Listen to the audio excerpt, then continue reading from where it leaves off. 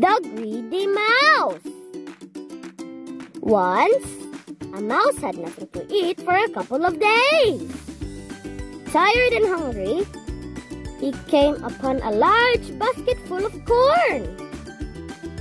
But how do I get inside this basket? He wondered. Just then, he saw a hole in the basket, big enough to let him through. He stayed inside the basket for many weeks, eating to his heart's content. Finally tired of eating just corn, he decided to get out. But now he had grown too fat and couldn't fit through the hole.